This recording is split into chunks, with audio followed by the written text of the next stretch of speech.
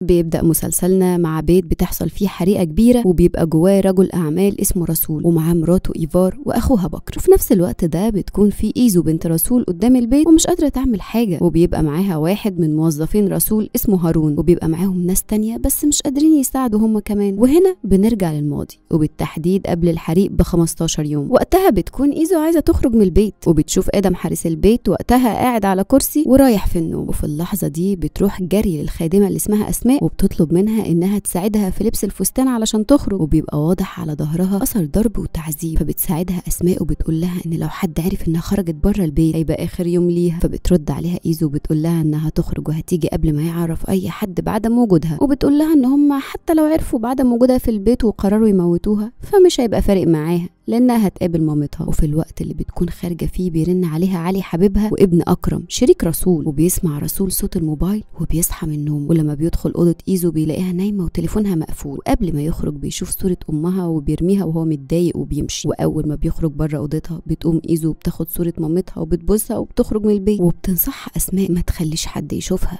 عشان ممكن رسول يعرف إنها خرجت من البيت. وفي الوقت ده بتقول لها إيزو إنها محبوسة في المزرعة ومفيش حد يعرفها أصلا. عشان يعرف إنها كانت بره. وبتقول لها إنها ترجع بسرعة. ولما بتبقى خارجة بيشوفها الكلب جسور وبيفضل يجري وراها وبيهوهو عشان عايز يلعب معاه فبيسمعه رسول وبينزل عشان يشوف سبب هوهوة الكلب إيه. وقتها بتقدر إيزو تهرب وبيشوفهاش رسول. بس بيقرر يعاقب الكلب وبيربطه في الشمس. ولما بيشوف آدم نايم بيضربه بالقلم. وبيقول له إنه هيربطه جنب الكلب المرة اللي جاية لو شافه نايم تاني. بعدها بتروح ايزو الجامعة لأنها بيبقى عندها امتحان في الوقت ده. وطبعا بتحله كله بسرعة وبتسلم ورقتها أول واحدة وبتخرج جري عشان تلحق ترجع البيت. وبيبقى رسول قاعد بيفطر مع زوجته إيفار وأخوها بكر. في الوقت ده بتساله إيفار لو يقدروا يطلعوا يقضوا وقتهم النهارده في اليخت بتاعه. فبيرد عليها رسول وبيرفض وبيقول لها إنه عنده شغل. بعدها بيطلب القهوة بتاعته وبتخاف أسماء جدا وبتروح تتصل بإيزو لأن هو بيشربش القهوة بتاعته غير من إيدها. ووقتها بترد عليها إيزو وبتقول لها إنها خلاص بقت قريبة وهتوصل للبيت. في اللحظة دي بتقابل تور أسود وبيبقى عاوز يهجم عليها بسبب فستانها الأحمر وبيجري وراها التور لحد ما بيشوفها هارون. وبيقرر إنه ينقذها وبالفعل بينجح في ده وبيركبها العربية. وبيضحك هارون جدا عليها وبتسأله عن سبب ضحكه فبيقول لها وقتها إنه أول مرة يشوف بنت بتصارع تور فبترد عليه وبتقول إنها أصلا ملهاش حظ. ودايما بتقابل تيران في كل لحظات عمرها. فبيتضايق وبيسألها إذا كان قصدها إنه تور. فبتقول إنها ما كانش قصدها حاجة وبتطلب منه يقف عشان تنزل. وبيبقى مستغرب وبيسألها إذا كانت ساكنة في الجبل فبتعرفه إنها فعلا ساكنة وسط الجبال وبيسألها لو كانت بنت السيد رسول فبتبقى قلقانة وبتبص له وبتردش عليه وبتمشي. وفي اللحظة دي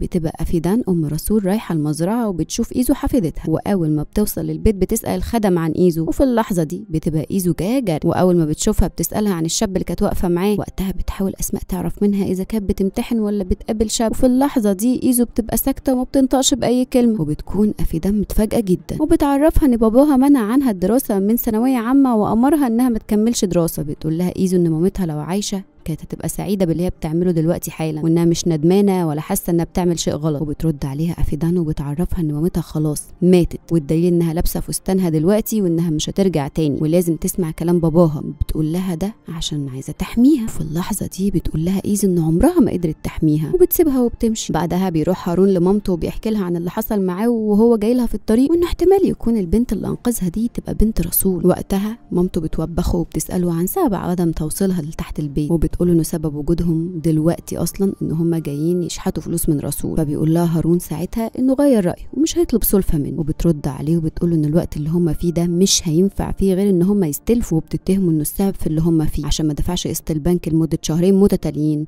وده هيبقى التالت. ووقتها بيسيبها هارون وبيمشي وبيقول لها إنه مش هيجي معاها. يطلب السلفة دي من رسول. بعدها بتبقى أسماء محضرة القهوة وبتديها لإيزو عشان تديها الرسول وبتروح تقدمها له. ولما بيشوفها لابسة فستان مامتها بيتجنن. وبيفتكر الأم. وقتها رسول بيطلب منها إنها تنحني وهي بتقدم له القهوة. ولما بترفض إنها تنحني بيرمي الصينيه من إيدها وبيقوم يمسكها من رقبتها وبيقرر يضربها لكن افيدان بتمنعه وبيبقى في الوقت ده مرات أبوها وأخوها بكر وسحر الخادمة مبسوطين جدا من اللي بيشوفوه. بعدها بتبقى أسماء قاعدة مع إيزو وبتسألها عن اللي هتستفيده من إنها تكمل الدراسة فبتقول لها إن علي وعدها بالجواز لو نجحت وقتها بتتصل عليه وأول ما بيفتح بيسألها عن سبب عدم ردها الصبح فبتقول له إنها بسببه كانت هتتمسك ومش هتعرف تروح الامتحان وبيقول لها إنه كان بيتصل عليها عشان يتمنى لها النجاح فبتطمنه وبتعرفه إنها حلت كويس وبتعرفه إن أسماء قاعدة جنبها وبتقوله إنها هتفتح مكبر الصوت عشان يسمعها هو وعدها بإيه؟ وبيقول لهم إنه وعدها هيتجوزها لما تنجح في الامتحان ده. بعدها بيبقى عمال المزرعة عاملين إضراب عن وبيبقى السيد أكرم واقف بيسمع الشكاوي بتاعتهم وبيقولوا له إن هم بياكلوا عيش حاف الصبح وبالليل مكرونة ورغم إن هم مش بيعترضوا إلا إن المية بتقطع. ولما بتيجي بتبقى مخلوطة بالطين وده تسبب في تسمم ثلاث أطفال وست حامل. وعشان كده مش هيقدروا يسكتوا. وفي اللحظة دي بيجي لهم رسول وبيطلب أكرم منه يوصل للعمال ويعمل لهم اللي هم عاوزينه ويوصل لهم وصلات ميه نظيفة. وبيعرفوا إنه بنى لهم كرفانات بدل الخيم اللي كانوا عايشين فيها. وبيفهموا إنهم أمنوا على العمال دول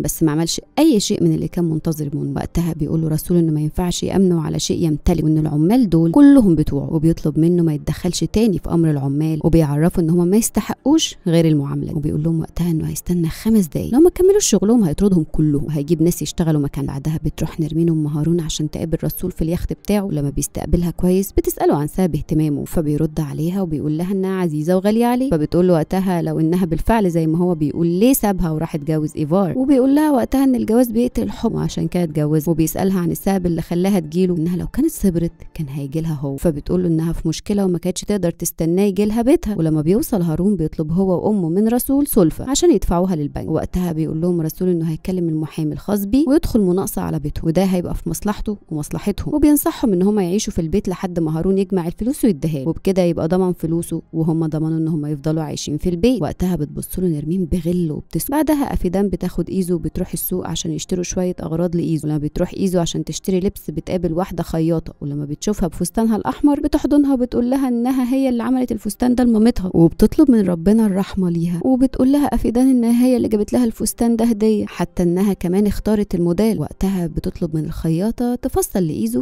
فساتين جديدة. بعدها بتبقى سحر ونيشة معاهم أكياس وبتحاول تمشي بيهم من غير ما حد يشوفهم بس في اللحظة دي بتشوفهم أسماء وبتسألها عن الموجود في الأكياس دي. بس ما بيبقوش عايزين يعرفوها اللي جوه الأكياس. لحد ما أسماء بتدخل وبتفتح كيس منهم بالعافية وبتتفاجئ إنها ملابس زليخة أم إيزو. ووقتها بتسألهم عن سبب وجود الملابس دي معاهم فبتفهمها سحر إن أفيدان هي اللي طلبت منهم ياخدوا كل لبس زليخة ويرموه بره البيت في الزبالة. ولما بترجع إيزو للبيت وما بتلاقيش لبس مامتها بتتجن وبتسأل سحر عنهم فبتقول لها إن أفيدان طلبت منها ترمي اللبس في الزبالة وبتطلع جري عشان تلحق لبس مامتها بس في اللحظة دي بتشوف مرات باباها وهي بترمي بنزين على اللبس وبتترجاها إنها ما تولعش فيهم. بس بتولع في اللبس قدامها. وقتها إيزو بتنهار وبتضربها لحد ما بتنده على بكر وبيجي يضرب إيزو. ولما جسور كلب إيزو بيشوف ده بيجري على بكر ويعضه وبيطلع بكر المسدس بتاعه وبيقتل بيه الكلب. بعدها بتشكر نرمين رسول على الخدمة اللي قدمها لهم وبيقول لها إنها أخدت اللي هي عايزاه. وبيطلب منها تستناه بكرة عشان يجي ياخد اللي هو عايزه منها. ولما بيجي هارون ومعاه العربية عشان ياخد نرمين بيشوف رسول وقتها خبطة في العربية بتاعته وبيسأله عنها. فبيقول له إنه سببها التور اللي كان بيجري ورا بنته. وبيعرفوا اللي حصل. بعدها بيرجع رسول للبيت عشان يعاقب إيزو على خروجها من البيت الصبح بدون اذنه ولما بيشوفها مضروبة وكلبها ميت بتصعب عليه وبيقرر ما يضربهاش. ولما بتوقفه إيزو وبتساله ان كان عنده فضول يعرف مين عمل فيها كده. فبيقول لها إنها ممكن تكون غلطانة وتستحق اللي حصل لها. فبتتضايق من كلامه وبتسأله عن سبب كرهه ليها. وقبل ما يقول أي شيء بتقول له إن سبب كرهه ليها هي ام مامتها. فبيقول لها إنه بالفعل بيكرهها عشان من شبه مامتها في عنادها وعدم احترامها ليه. وقتها بتقول له إيزو إن في فرق بين الاحترام والخوف وبتشاور له على كل اللي واقفين وبتقول له إن هم كلهم بيخافوا منه وما بيحترموهوش وبتعرفه انه مكروه ومحدش بيحبه فبيضربها ولما بتحاول أسماء تدافع عنها بتطردها من بيته هي وسحر وكل اللي تبعها بعدها بتبقى إيزو قاعدة حزينة في أوضتها وبيجي بكر معاه فستان بيحاول يتحرش بيها بس بتحاول تطرده بره أوضتها وبتسأله عن سبب وجوده في الأوضة فبيديها فستان وبيعرفها إن باباها عامل حفلة بالليل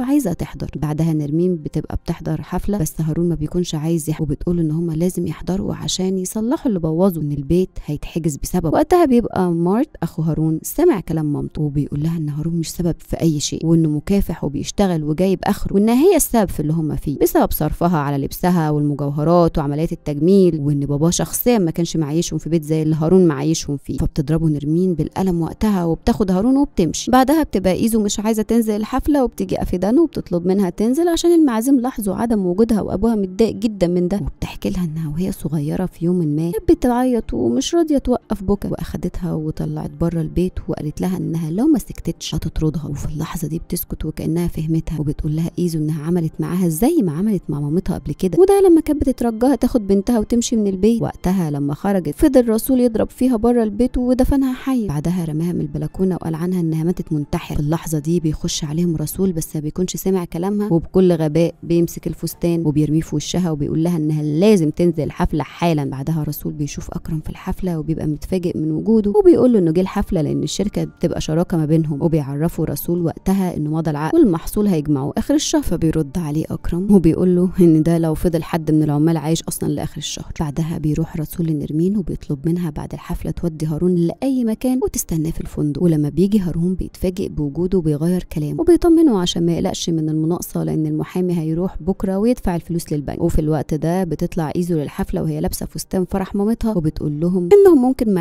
يعرفوهاش عشان مش بتظهر كتير أو مجبرة على عدم الظهور. بس حابة تحكي لهم قصة مامتها اللي مات لكن ألمها لسه عايشة من يومها وبتعرفهم إنها عاشت حياة بائسة وصعبة مع رسول وإنها رمت نفسها من البلكونة وانتحرت. وبتعيط قدام الناس وبتبص للسما وبتقول إن عمرها ما هتنساها. وفي الوقت ده بيشدها رسول وبيدخلها البيت وبيسألها إذا كانت بنته أو عدوه ليه. فبتقول إنها بتتمنى لو ما كانتش اتولدت أصلا وبياخدها وقتها للبلكونة وبيهددها إنه هيرميها زي ما رمى مامتها من نفس المكان. وفي الوقت ده بيدخل عليهم وبينقذها إيزو منه وبتكون إيزو متفاجئة جدا. لأنه أكد لها ان هو اللي قتل مامتها وبتمشي إيزو ومعاها صورة مامتها ولما بيشوفها هارون بيقرر يمشي وراها لحد ما بتوصل إيزو للقبر بتاع مامتها وبتروح لها وبتقعد تعيط هناك. في الوقت ده بينادي عليها هارون وبيقترح إنها تروح لقسم الشرطة وتبلغ عن باباها وإن الشرطة مش هتسيبها هتقف جنبها في الموقف اللي هي فيه. بس ما بتردش عليه وبتفضل تعيط وفجأة بيحصل حريق في البيت. في الوقت اللي بيكون البيت فيه بيتحرق يبقى هارون واقف والنار محوطاه من كل اتجاه. وبيفتكر وقتها الموقف اللي كان مع زليخة وهي بتقول له إنها ما بتحبوش ومش هتقدر تعيش معاه دقيقة تحت سقف بيت واحد. وبيرد عليها هارون وبيقول لها إنه هيكسر رجلها وهيقعدها في البيت بالعافية إن مفيش حد يقدر يسيبه بدون رضاه فبتقول له وقتها إنه جبان ووحش وبيمسكها وبيرميها من البلكونة. ووقتها بيجري رسول وهو بيتحرق وبيرمي نفسه من نفس البلكونة قدام إيزو وهارون. بعدها بيبقى علي رجع من الجيش وبيعرف من سواق التاكسي إن بيت السيد رسول اتحرق ومات جوه ثلاث أشخاص. وبينسى شنطته جوه التاكسي وبيروح جري لبيت المزرعة وبيبقى قلقان جدا. تبقى إيزو ماتت أو حصل لها حاجة لما بيوصل للعزا وبيشوفها بياخدها في حضنه وبيطمن إنها عايشة. بعدها بيبقى هارون ونرمين مش عارفين يتصرفوا إزاي. دفع المناقصة بتاعة البنك وبيقترح عليها هارون إن هم يروحوا الأفيدان ويطلبوا منها المبلغ. ويعرفوها إن الرسول كان هيدفعه فبتقول إنه مستحيل أفيدان أو أي حد يدفع لهم المبلغ ده. وبيرد عليها هارون وبيقول لها إن الرسول كان هيدفعه عادي فبتقول إن اللي بينهم وبين هارون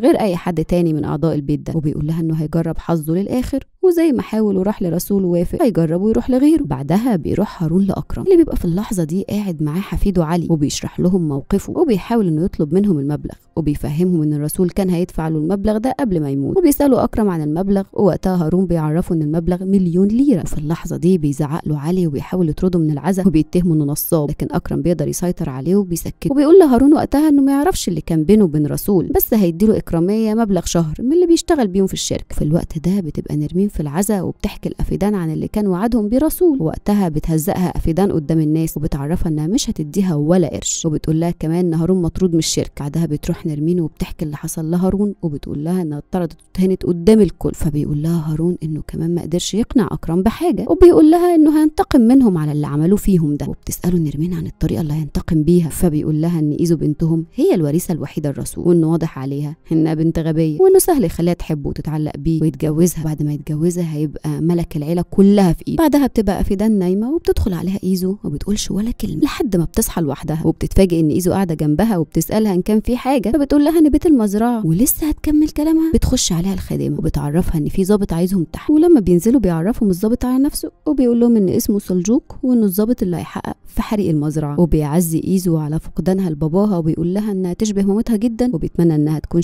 شبهها في أخلاقها كمان وبيعرفها إن مامتها كانت ملاك المقاطعة. وقتها بتقول له أفيدان إن هم تعبانين جدا من الأفضل لو يأجل الإجراءات اللي بيعملها دي. فبيرد عليها وبيقول لها إن بيت المزرعة اتحرق بفعل فاعل وإنه جاي دلوقتي علشان يحقق مع كل أفراد البيت. وبيطلب إن هم يتجمعوا كلهم لأن الكل هيبقى التحقيق معاه. وأولهم إيزو. في اللحظة دي بيسأل إيزو عن مكان تواجدها أثناء حريق البيت. فبتسكت وما بتردش عليه. وقتها افيدان بتطلب منها تطلع لأوضتها وبتقول لسلجوق إنه حضر قبل كده موت زليخة عشان يحقق معاه. وكانت النتيجة إنه اتطرد من المقاطعة وما قدرش يعمل أي حاجة. وبتفهمه إن أعداء العيلة كتير. ويروح يقدر يحقق معاهم بره البيت. ويعرف اللي عمل كده. ويبعد عن حفيدتها فبيرد عليها وبيقول لها إن عيلتها مليانة أسرار ومن الممكن إن إيزو تبقى هي اللي حرقت البيت وإنها شبه أبوها في شره وإنها ما عرفتش تكون شبه مامتها في صفاتها البريئة. في اللحظة دي بتطرده افيدان من البيت وبيقول لها وهو خارج إنه هيكمل تحقيق بنفسه وهيقدر يعرف اللي حرق البيت. بعدها بيروح علي وأكرم لبيت افيدان وبيطلب علي منهم إن هم يجوا يقعدوا عندهم لأنه خايف يكون في عدو متربص ليهم ويحاول يأذيهم. فبتقول له افيدان إنها مش هتسيب بيتها لحد ما مراسم عزاء ابنها يخلص وبترفض إنها تروح لأي مكان في اللحظة دي بيخرج علي بره البيت وبيطلب من الحرس اللي مجمعهم إن هم ياخدوا بالهم من البيت. ولما بيشوف آدم حارس المزرعة بيهزقه وبيسأل بيسألوا عن اللي كان بيعمله وقت الحريق بس ما بيردش عليه وبيبقى عايز يضربه وبيحوشوه عنه. بعدها أكرم بيقول لسيف ده إن الظابط سلجوق ما غلطش لما جه البيت عشان يحقق في أمر الحريق وانه ممكن يكون حد من أفراد العيلة هو اللي عمل كده. فبترد عليه سحر وبتقول له إنه من حسن الحظ إن بكرة ما ماتش ودلوقتي بدأ يفوق شوية وإنه لحد ما يفوق ويكون كويس أكيد هيبقى شايف أو سمع حاجة ويقدروا من خلاله يعرفوا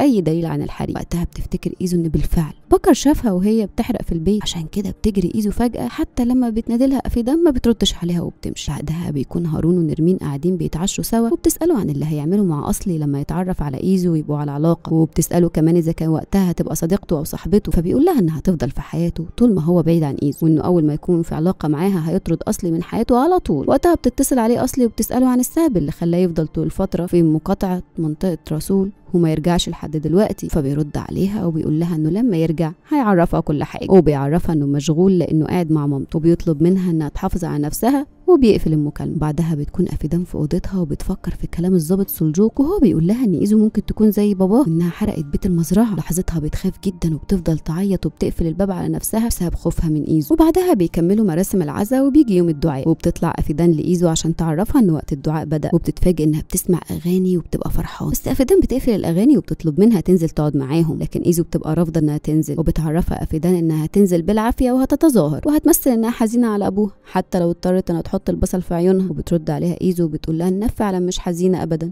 وانهم استحقوا اللي حصل لهم عشان كانوا السبب في موت مامتها وفي تدمير حياتها. وطبعا أفيدان بتبقى غضبانة جدا منها وبتقول لأسماء تجهزها عشان تستعد لمراسم الحداد على أبوها وبتسيبهم وبتمشي. وقتها ايزو بتقرر تنزل لهم بطرحة حمراء وفستان أخضر. ولما بتشوفها أفيدان بتبقى محرجة بس بتسكت. ولما بيوزعوا عليهم الحلويات بتاكل ايزو بنهم وبتقول لأسماء إن طعمها جميل جدا وبتعرفها إنها لو كانت عملتها بالفستق كانت هتبقى أحسن. بعدها بيكون سلجوق بيراجع كاميرات البيت في القسم وبعدها بيروح لبيت أفيدان وبيدخل عليهم وقت الحداد وبيقول لهم إنه عرف مين اللي ارتكب الجريمة. وفي اللحظة دي بتكون إيزو قلقانة جدا ومنتظرة إنه ينطق اسمها بس فجأة بينادي على سحر الخادمة وبيعرفهم إنها هي المتهمة الأولى. بعدها بياخدها للقسم عشان يحققوا معاها وبيوروها فيديو وهي خارجة من البيت. وفي اللحظة اللي بتخرج فيها بيبدأ البيت يولع وفي الوقت ده بيسألها عن سبب تواجدها في البيت بعد ما تم طردها هي وأسماء وبيسألها عن السبب اللي يخليها ترجع للبيت تاني بالليل. بعدها بيبقى هارون ومعاه نرمين في بيت أفيدان علشان يقدموا واجب العزاء وبيستغل إنه إيزو لوحدها وبتبدأ تواسيها نرمين ومعاها هارون وبتطلب نرمين من هارون وقتها إنه ياخد إيزو ويخرجوا سوا عشان ينسيها الحزن اللي هي فيه. وقتها بيدخل عليهم علي في الوقت اللي هارون ماسك فيه ايد إيزو بيبقى غضبان جدا. بس بيتمالك نفسه وما بيعملش حاجة. وبيرد هارون على مامته وبيقول لها ان هم مش هيخرجوا.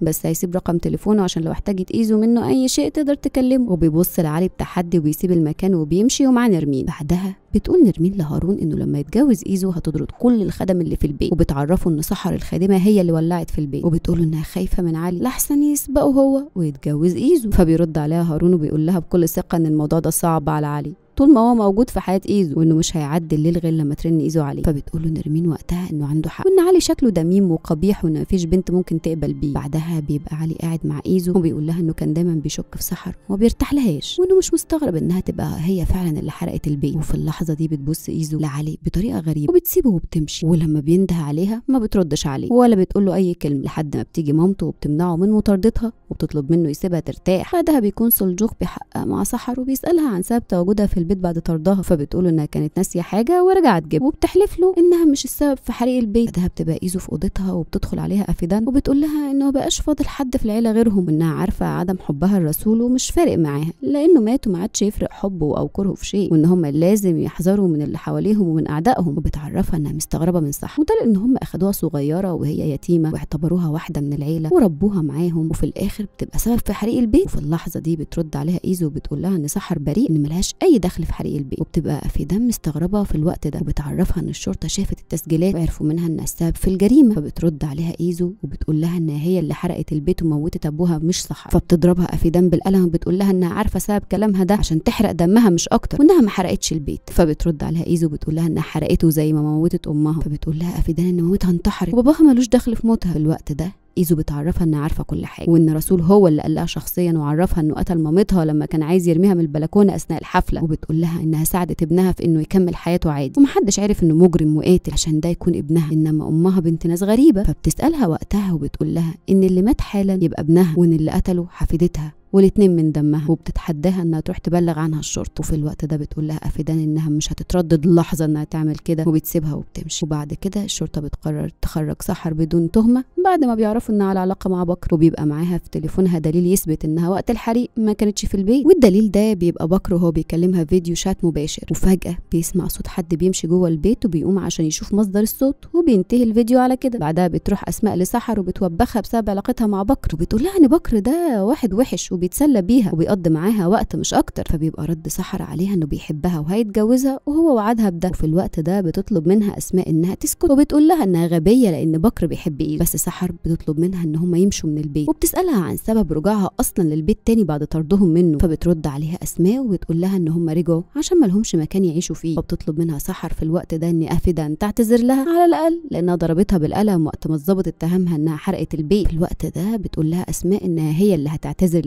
للسيده أفيدان عن اللي كان بيحصل بينها وبين بكر في بيتهم وهتفضل تعتذر حتى لو اضطرت إنها تنزل على ركبتها وتبوس رجليها عشان توافق تسيبها عايشة معاهم في البيت. اللحظة دي بترد عليها سحر وبتقول لها إنها تعتذر عشان وقعت في الحب وبتسألها إذا كان ده ذنب بالنسبة لها. فبتعرفها أسماء وقتها إنها تعتذر بسبب إن هم ما عندهمش مكان يسكنوا فيه وإن بيت المزرعة اتحرق وما فاضلهمش غير إن هم يعيشوا في قصر أفيدان اللي موجودين فيه حالا. بعدها بتكون إيزو مختفية ومحدش عارف هي متواجدة فين بالظبط. بعدها بيجمع علي حراسه وبيأمرهم يدوروا عليها في جميع أنحاء المقاطعة وبيروح هو شخصيا يدور عليها في المزرعة وعند قبر مامتها بس برضه ما بيلاقيهاش وبيتفاجئ لما بيتجمع مع حراسه في الشارع بأن صندلها واقع ومرمي وبعدها بتكون إيزو في بيت هارون وبيغمى عليها عندهم وبتكون سخنة ومش واعية لأي شيء وبتعمل لها نرمين كمادات مية وفي الوقت ده بيسألها هارون إذا كان لازم يتصل على أهلها ويعرفهم بتواجدها عنده فبتقوله نرمين إن البنت هي اللي جت لحد عندهم بإرادتها إن هم انتظروا لحظة زي دي بفارغ الصبر عشان يقدر يقعد معاها شوية على انفراد وبتكون عمالة تضحك وقتها وبتقول إن إفيدان زمانها قلقانة عليها حالا وبتتمنى لها الشر. بس هارون بيطلب منها إنها تسكت. لحسن إيزو تسمعهم. وتاني يوم بيبقى هارون وإيزو نايمين وبترن أصلي على هارون وبتصحيهم من النوم. وبيقوم هارون وبيفصل المكالمة. ولما بتصحى إيزو بتبقى متفاجئة جدا. وبتسأل هارون مين لبسها قميص النوم ده؟ وقتها بيرد عليها وبيقول إن هو اللي لبسها القميص. وبتضربه وقتها بالقلم. وفي اللحظة دي بيضحك معاها وبيفهمها إن مامته هي اللي لبستها القميص. وإنه مجرد إنه بيهزر معاها مش أكتر. في الوقت ده بتدخل عليهم نرمين. وبتطلب من ايزو إن هم يقربوا من بعض وإنها تناديها بلقب أختي أو خالتي أو ماما. فبتبص لها إيزو وبتبقى معجبة بيها جدا وبكلامها. بعدها بتحاول إيزو تفهم هي إزاي متواجدة دلوقتي في بيتهم. فبتحكي لها إن هم لقيوها في الشارع واقعة على الأرض وقرروا ياخدوها ترتاح عندهم لحد ما تفوق. وقتها إيزو بتفتكر إنها كانت رايحة لقسم الشرطة وبتطلب إيزو إنها تمشي. فبتقول لها نرمين إنها مش هينفع تلبس هدومها عشان متلطخين بالطين. وبتطلب من هارون وقتها يجيب لها حاجة تلبسها. في الوقت ده بتتصل أصلي على هارون وأول ما بيفتح المكالمة بيقول لها إن لبسها اللي في خزانة بيته ما عادش موجود وإنها لازم تجيب لبس جديد المرة اللي جاية وهي جاية تزورهم. في الوقت ده بتطلب أصل منه إنه ينزل يقابلها عشان هي تحت بيته وفي الوقت ده بينزل عشان يقابلها وبتبقى عايزة تدخل البيت بس بيمنعها وبيقول لها إن البيت مليان ضيوف ومش هيقدر يدخلها دلوقتي. وبتسأله أصلي عن الفلوس اللي هي اديتها له يسد بيها ديون البنك. وبتقول له انه ولا سدد ديون البنك ولا الفلوس معاه. وبتسأله هو ودى الفلوس فين؟ فبيعرفها إنه حط الفلوس في البورصة وإن الفلوس دي في خلال شهر ونص. هتتضاعف وقتها هيرجع لها فلوسها وعليهم زيادة. بعدها بتمشي أصلي وبيرجع هارون للبيت عشان يفطر معاهم وفي الوقت ده بيحكي لهم هارون قصة الثورة وإنه كان على بعد مليمترات وياخد حياة إيزو وبيقول لها إنها مدينة ليه بحياتها وبيعرض عليها إن هم يتفقوا ينزلوا يتعشوا سوا في يوم. وقتها بتقول له إيزو إنها ما تعتقدش إنها تقدر تعمل حاجة زي دي وبتطلب إن هم يروحوها فبيقوم هارون علشان يوديها البيت. وقتها بتفكر مامته إن العربية مع أخوه مارت وبتقول لإيزو تطلب أهلها يجوا ياخدوها. ولما بتمشي إيزو عشان تظبط شنطتها وحاجتها بيسألها هارون في اللحظة دي ليه قالت لها إن العربية مع أخوه وهي موجودة معاه. فبتعرفه نرمين وقتها إن ليها هدف إن أفيدان تيجي لحد عندهم. بعدها بتروح أفيدان ومعاها علي عشان ياخدوا إيزو من بيت هارون. وأول ما بيوصلوا وبيفتح لهم هارون الباب بيضربه علي وبيدخل عشان ياخد إيزو. وقتها نرمين بتعرف أفيدان إن هم استضافوا بنتهم طول الليل في البيت عشان يكون جزائهم الضرب. فبتقول لها أفيدان إن البيت بيتهم هم وإن مفيش حد بيستضيف حد في بيته وبتقول لها إنها لو ما بطلتش تلف حوالين إيزو هي وابنها هيبقى ليهم تصرف وتعامل تاني معاهم. وبتروح إيزو لنرمين وبتحضنها قبل ما تمشي. وبيقول لها هارون وقتها إن هم هيتقابلوا تاني. وبيروح لعلي وبيقول له بمنتهى الغضب إنه هيبقى ليه تصرف تاني معاه. بعدها وهم راجعين بيحاول علي يحذرها من هارون. وبيقول لها إنه شخص وصولي. وإنه بيعمل معاها زي الغراب اللي بياكل الجيفة. وقتها بتقول له إيزو إنه شايفة هي كمان جثة ميت فبيقول لها إنه ما يقصدش. ولسه هيكمل باقي الكلام. لكن أفيدان بتطلب منه يقف في مكان مناسب وينزلوا من العربية. وفي الوقت ده بتقول لها أفيدان إنها كانت عارفة إنها رايحة لاسم الشرطة عشان تبلغ عن نفسها. فبتقول لها إيزو إنها بالفعل هتروح عشان تبلغ عن نفسها ومش هتخلي سحر تموت بذنب ما عملتوش. وفي الوقت ده بتعرفها أفيدان إن سحر خرجت والتهمة ما يقدرش يثبتوها عليها. وبتترجاها ما تروحش الاسم وتسلم نفسها. وبتقول لها إن هو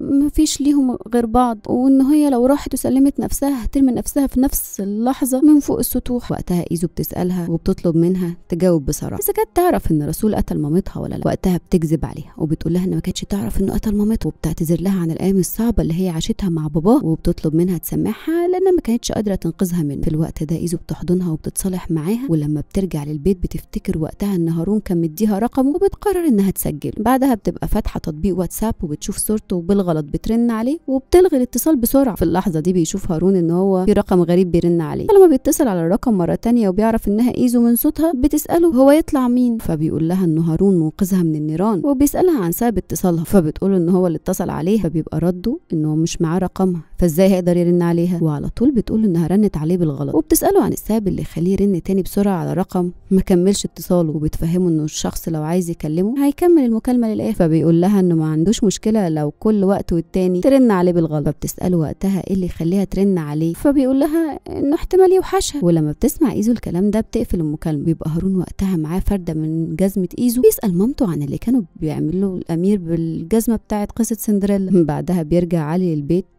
وبيعرف مامته عن المكان اللي كانت مختفية فيه إيزو وبتقول له مامته وقتها إنها مستحيل تكون راحت لهم غصب عنها وإنها بكل تأكيد في بينها وبين هارون علاقة وعشان كده هي كانت عنده. فوقتها بيتضايق علي وبيأكد لها إن مفيش بينهم أي حاجة وبيقول لها إن حتى الصداقة مش موجودة ما بينهم. وبيعرفها إنه مش هيهدى غير لما يحمي إيزو من العاب هارون وبيبقى معاه فرده جزمتها التانية وبيحطها قدامه وبيسوع بعدها بتبقى إيزو قاعدة في أوضتها وبتدخل عليها أسماء وبتسألها عن سبب اختفائها طول الليل امبارح. فبتحكي لها اللي حصل لها وبتقول لها إنها كانت عند نرمين وكان هارون ابنها في البيت. وبتسألها أسماء إيه اللي خلاها تنام في مكان فيه راجل غريب. فبتشرح لها إنها كانت دايخة ومش في وعيها ووقعت في الشارع وهم اللي أخدوها وأنقذوها. وبتحكي لها إن دي مش أول مرة هارون ينقذها. في الوقت ده بتطلب أسماء منها تشوف صورته. وبتسألها إيزو عن السبب. بتقول لها إنها بتعرف صفات الأشخاص من شكلهم. لما بتشوف هارون بتقول لها إنه شاب ثري ومدلل. بعدها بتبقى افيدان وسربيل الخادمه بتاعتها بتسألها إذا كانت محتاجة أي شيء. في الوقت ده بتدخل عليهم سحر من بره بدون سلام.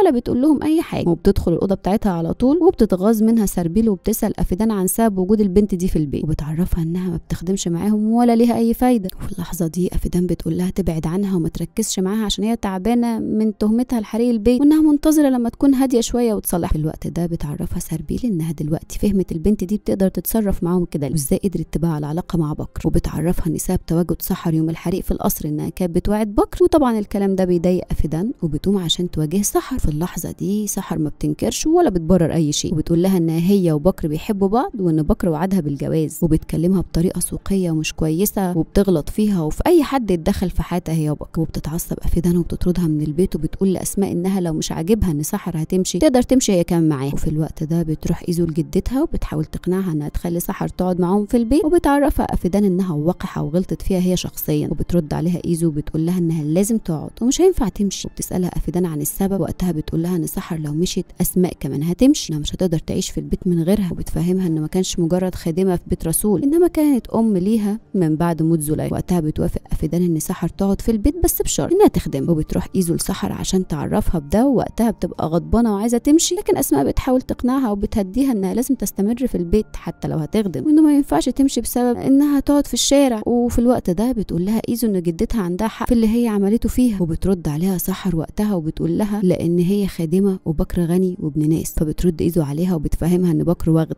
وإن واحد زيه لا يتحب ولا ينفع حد يثق فيه أو ياخد منه وعد. بعدها بتفتكر إيزو إن بكر هو الوحيد اللي شافها وهي بتحرق البيت وهو الوحيد اللي نجا من الحريق. وبتسيب سحر وبتمشي عشان تروح لافيدان وبتحكي لها إن في شخص وحيد. عارف إنها اللي حرقت البيت غيرها وبتسألها عن الشخص ده وبتقول لها إنه بيكون بكر. بعدها بيبقى سولجوك قاعد بيحلل تسجيلات الفيديو لبيت المزرعة وبيفضل مركز في الفيديو اللي بيظهر فيه رسول وهو بيهدد إيزو. وما بيكونش قادر يفهم هو بيقول إيه بالظبط. بيبقى محتاج حد يقرأ لغة الشفايف وبيأمر عسكري من العساكر بتوعه إنه يروح يدور على كاظم ويجيبه له حالا. بعدها بيروح يجيب كاظم من قهوة شعبية وبيبقى كاظم شحات أخرس بس ماهر في قراءة لغة الشفايف. ولما بيروح القسم بيفرجوا سلجوك على الفيديو بيعرفه كاظم وقتها إن رسول بيهدد إيزو وبيقول لها إنه هيقتلها ويرميها من البلكونة زي ما عمل مع مامتها. في الوقت ده بيبقى سلجوك منهار وبيروح الحمام عشان ينهار من البكاء وبيبقى معاه صورة بتجمعه مع زليخة أم إيزو. بعدها بيبقى هارون قدام بيت أفيدان بينتظر وقت خروجها. ولما بتخرج بيروح وبيخبط على البيت وبيفتح له سربيل وبيكون محتاج إيزو. في الوقت ده بتشوفه وبتروح له عشان تسأله عن سبب تواجده قدام البيت بتاعها. فبيطلع لها جزمتها وبيقول لها إنه بيدور على أميرته وبينزل على الأرض وبيمسك رجلها بالعافية وبيحاول يلبسها الجزمة. بعد ما بيلبسها لها بيقول لها إنه خلاص لقى سندريلا وبيسألها لو تقبل منه الجواز. في اللحظة دي ما بترضاش تقول له إيزو أي رد وبتبقى متضايقة من تصرفه وبتحاول تمشيه قبل ما أفيدان تيجي وتشوفه. بس ما بيرضاش يمشي وبيمسك إيدها وبيقول لها إنه لسه ما وفتش بوعدها ليه وإنه لسه منتظر العشاء مقابل إنقاذها من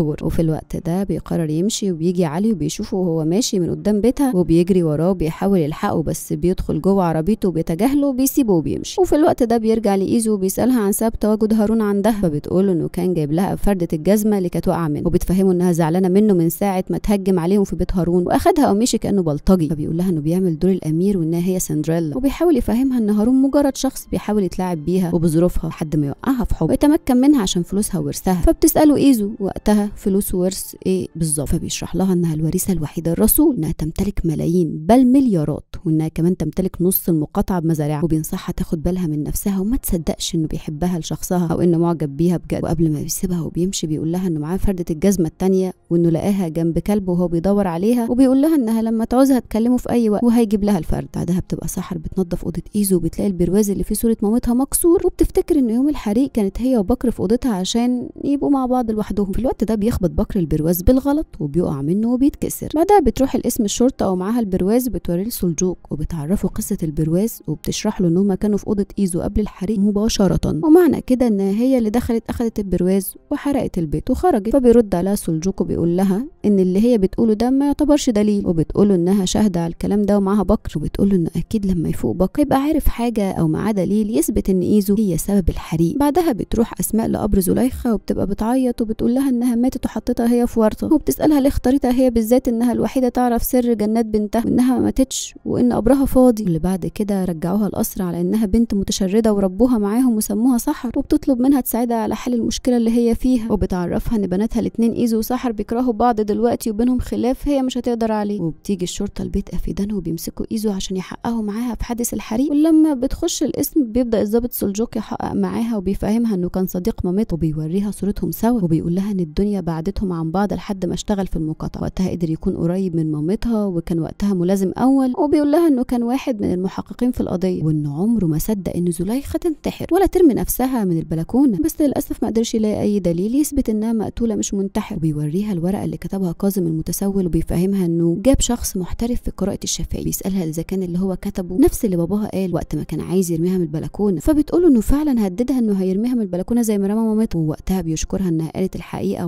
وعرفته إن باباها هو اللي قتل مامته وبيسألها عن نفسها وبيسألها لو كانت هي اللي حرقت البيت وقتلت باباها ومراته. الوقت ده بيطلب منها تقول الحقيقة وبيعرفها إن أكتر شيء كانت بتخاف منه زليخة إنها تكون شبه أبوه. وبيقول لها إنه للأسف الشيء اللي توقعته مامتها حصل إنها بقت هي كمان قاتلة. وبيسألها لحد إمتى هتفضل عايشة وأكنها ما عملتش أي شيء زي باباه فبتقول له إيزو وقتها إنها مش فاهمة هو بيتكلم عن إيه وبتطلب منه لو يفتح شباك من الشبابيك عشان الجو حر جدا. وبيوريها البرواز اللي فيه صورة مامتها وبيقول لها إن البرواز ده كان موجود في البيت قبل الحريق وإن البيت كله اتحرق. ما عدا البرواز وبيقول لها إن هم لقيوه تحت سريرها عند جدتها وإنه معاه شهود عيان على كل اللي بيقوله وبيطلب منها تعترف لأنه عايز العدالة مش أكتر. وفي الوقت ده بتكون إيزو منهارة وبيفضل سلجوق يضغط عليها عشان تعترف وفجأة بيدخل عليهم المحامي اللي كلمه علي وأفيدان وبيسأل سلجوق عن الأسئلة اللي بيسألها الموكلة بتاعته لكنه بيتجاهل. وفي الوقت ده بيطلب المحامي إنها ما تردش على أي سؤال مش عايزة ترد عليه. وبالفعل ما بتردش إيزو على سلجوق وما بتعترفش على نفسها وبيحجزها في الاسم ولما علي وافيدان بيسألوا المحامي عنها بيقول لهم إن هم بيمارسوا عليها ضغوط نفسية مش أكتر وما عندهمش أي دليل ضد أي حد. فدلوقتي الكل متهم وإن هم هيحجزوها يومين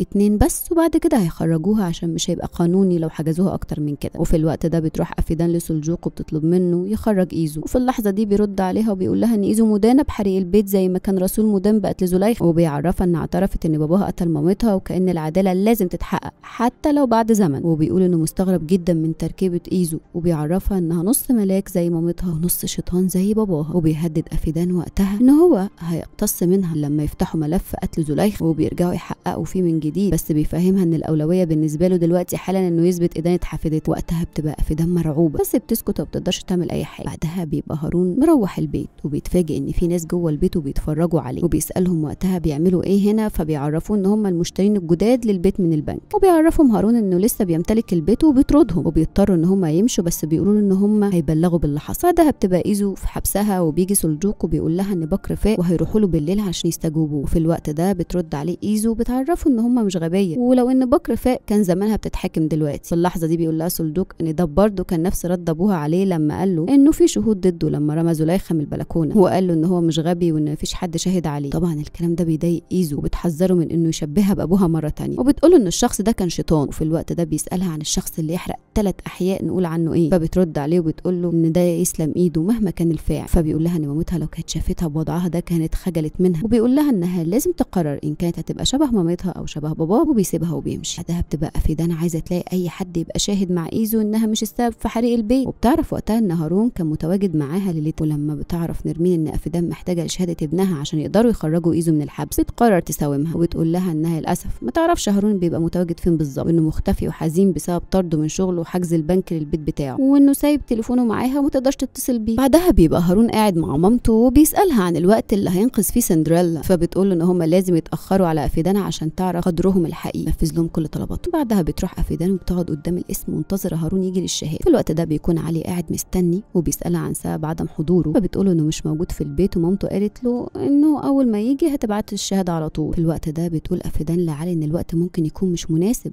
وانه وقت حداد بس قررت إن إيزو هتكون ليه بعد ما تخرج من حجزها وبتعرفه إن ده هيكون برضاه طبعا. وقتها بيكون علي فرحان جدا وبيوافق على طول وبيشكر. بعدها بتروح أسماء البيت وهي منهارة من العياط. أما سحر فبتبقى فرحانة وبتسالها لو ايزو لسه محجوزة بتعرفها اسماء انها لسه محجوزة وبترد عليها سحر وهي في منتهى السعادة وبتقول لها إنها كانت صح وإنها كانت عارفة إنها حرقت البيت وبتطلب منها أسماء لأن فيه شاهد ممكن ينقذ إيزو لو ظهر وقرر إنه يحكي لشيء بعدها بيروح علي البيت هارون وبتفتح له نرمين وبيرمي لهم شنطة وبيعرفهم إن فيها مليون ليرة وبيقول لها إن هم قدامهم لحد الفجر لو ابنها ما خرجش من جحره هيجي لهم بنفسه وياخد منهم المليون ليرة وهيبقى ليه تصرف تاني معاهم وبيفهمهم إنه سايب حارس خاص بيهم عشان يراقبهم وتاني يوم بتصحى إيزو من نومها وبتطلب إنها تقابل الضباط ولما بتبقى ماشية عشان تدخل أوضة التحقيقات تطلب من جدتها إنها تسامحها وفي اللحظة دي بتطلب افيدان من علي إنه يجيب هارون وبسرعة. وفي الوقت ده علي بيكلم جمال الحارس على بيت هارون وبيطلب منه يقتحم البيت ويدخل يجيبه بالعافية. ولما بيقتحم جمال الباب بيدخل ما بيلاقيش أي حد في الشقة وبيبلغ علي بده وبعدها بيدخل سلجوق على إيزو وبيقول لها إنها طلبت تتكلم وإنه سامعها فبتطلب منه إيزو وقتها إنها عايزة تشوف صورة مامتها وهي صغيرة اللي معاه. وده لأن عمرها ما شافت صورة ليها وهي صغيرة. وبتحكي له عن المآسي اللي عاشتها مع باباها. وبتقول له إنها وهي صغيرة كانت بتلعب قدام البيت وفجأة مامتها وقعت قدامها وماتت. وبسبب ده فضلت شهور ما بتقدرش تتكلم وأسماء بتاخدها من دكتور لدكتور عشان يلاقوا لها حل. إنه بعد 40 يوم بس من موت مامتها باباها اتجوز وأخدها عشان تبارك لمرات باباها بالعافية. كان بيضربها وبيعاقبها لأنها ما بتقدرش تتكلم وكان مفتكرها إنها بتعاند معاه. وبتحكي له كمان إزاي كانت بتتضرب وبتتمنع من أي شيء بتحبه. إن هم قتلوا جسور كلبها وفي الآخر عرفت قاتل أمها وباعترافه شخصيا. وبتقول له وقتها وهي منهارة من العياط إنها عايزة تفهمه ان عمرها ما كانت زي باباها ولا ينفع تتساوى بيه. فبيرد عليها سلجوق وبيسألها لو كانت حرقت بيت المزرعة. وفي اللحظة دي بيدخل عليهم المحامي ومعاه هارون وبيقول له إنه جاب الشاهد اللي يقدر يبرئ إيزو. بعدها بتخرج إيزو من القسم وبتقول له سلجوق إنه لو كان يعرف مامتها فعلا يعرف إن بنتها مستحيل تكون شيطانة وإن اللي حرق البيت مهما كان هو مين هيفضل أحسن من اللي اتحرقوا جواه. قبل ما تمشي إيزو بيطلب منها إنها تستنى دقيقة لإنه هيعرفها حاجة. وبيروح يجيب شنطة الفلوس من العربية وبيرمي قدام علي شنطة الفلوس وبيقول له إنه مش هو اللي ياخد شنطة فيها فلوس عشان يخرج حد من أزمة. فبيرد عليه علي وقتها وبيقول له إنه من فترة كان جاي له وعمال يشحت منه الفلوس في العزم فبيقول إنه كان جاي ياخد الفلوس اللي وعده بيها السيد رسول لأنه كان هينقذ بيته من استحواذ البنك عليه. وبيفهمه إنه وقتها كان شغال في المعمل عند السيد رسول وإنه كان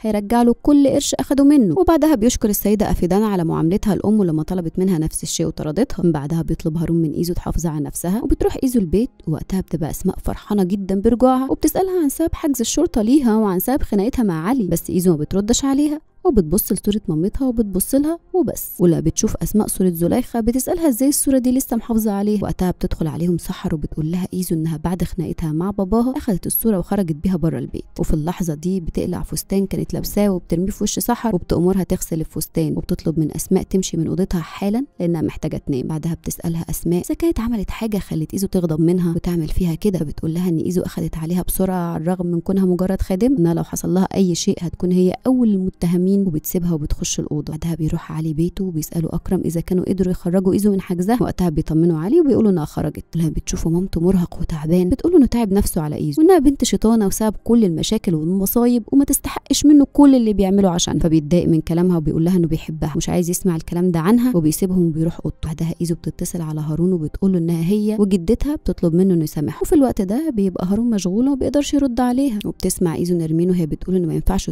حد بالشكل ده. وكانهم زي الزبالة وفي الوقت ده بتطلع إيزو من أوضتها وبتسمع افيدان بتكلم أتيلا المحامي وبتقول له ساعتها إنه ياخد أغراضهم ويسكنهم في مساكن العمال. ووقتها بتسألها إيزو إذا كانت فعلا هتسكنهم في مساكن العمال فبتقول لها إن ده أصلا كتير عليهم. في الوقت ده بتخش إيزو المطبخ وبتبدأ تطبخ وبتجهز أصناف كتير وبعدها أصلي بتبقى خارجة من مركز التجميل اللي بتشتغل فيه وبيجي لها مكالمة من الكار وبيقول لها إنه هيخرج من السجن قريب وبيهددها إنه لو خرج وما فلوس اللي بتصرفها على حبيبها هيكون ليها حساب صعب جدا. بعدها بتروح أصل البيت هارون بيخرج لهم ناس أول مرة تشوفهم وبتسألهم عن هارون وبيقولوا لها إن هم أخدوا أغراضهم وسابوا البيت ومشي. وقتها بتبقى اصلي قلقانة جدا وبتبقى خايفة لا يكون هارون نصب عليه في نفس الوقت ده هارون ونرمين بيكونوا في بيت أفيدان وبيبدأوا ياكلوا الأكل اللي طبخته إيزو وبيمدحوها وبيقولوا لها إن أكلها ممتاز. وهنا بتسألهم أفيدان إذا كانوا قدروا يلاقوا مكان يسكنوا فيه. وبتقول لهم إن هم لو مش قادرين يلاقوا مكان فهي كلمت لهم اتيلا عشان يسكنوا في مساكن العمال. فبتقول لها نرمين إن هارون حجز لهم فندق. فبتسالها أفيدان وقتها إذا كان هارون لقى شغل.